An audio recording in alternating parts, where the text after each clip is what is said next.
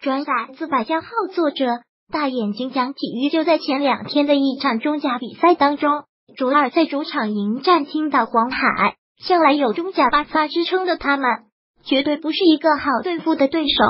但是最终顽强的卓尔在少一人的情况下，还是拿下了对手。不少球迷都表示，对于冲超这件事，武汉卓尔已经拿出了强队应有的韧性和实力。确实，对于一支想要升级的队伍来说，无论条件多么不利，球队最终还是能克服困难去赢球。这就是一个强队应有的气质。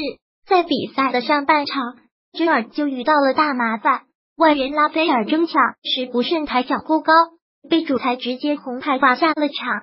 这就意味着卓尔只能在剩下的大多数时间里以十人来迎战。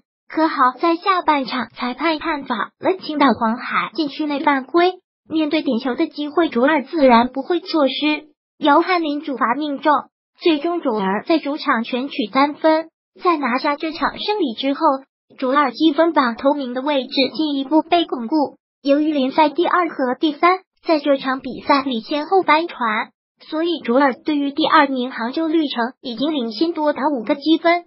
面对第三，更是拉开了整整九分。由于中甲还有七轮比赛就将赛季结束，从现在开始就真的可以说卓尔冲超这件事情已经成定局了。不出意外，下赛季的中超赛场上又将出现一支崭新的球队。目前的卓尔已经可以开始展望下赛季的中超联赛了。而球队能够顺利冲超，最大的功臣就要属主教练李铁了。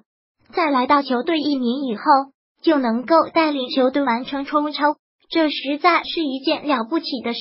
而这却已经不是李铁第一次这么做了。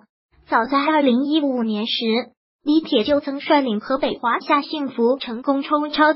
如今再次成功带领武汉卓尔上岸，这位四十一岁的新帅无疑已经成为了冲超专业户。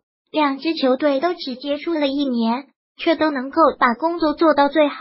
可以说，作为主教练的李铁在场下发挥出了巨大的潜质。如今只能带些低级别队伍的他，心里绝对还有着更大的目标。